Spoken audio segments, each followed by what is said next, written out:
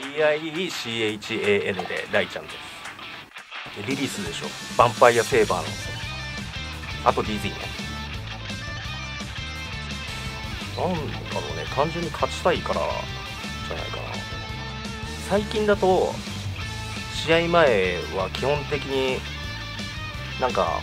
他のこと関係ないこと考えてとりあえずリラックスしてでまあ試合始まるときはまあキャラ選択画面とかでまあいろいろキャラ体とか考えたりとかそこでまあ落ち着いてって感じかな。上手い人の真似するのもまあ強くなるにはいいんだけどやっぱその負けた時にやっぱ考えることか、うん、何何で負けたのかっていうのが分かんないとダメだしあとその上手い人の真似するにしてもこの人は何でこの行動をこの場面でやってんのかとかそういうのを考えたりとかやっぱ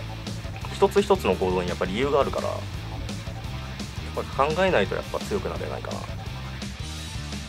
簡単なんだけど本当に強くなろうって思うとやっぱ他のアークゲーと同じでやっぱ結構やれることも多いしやっぱなんだかんだでアークゲーだなって気づいたら知ってた感じだけどもう前からやっぱ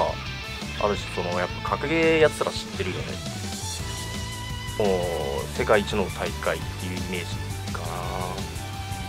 格ゲー現役でやってるうちにやっぱエボは1回はしてみたかったから期待というよりもその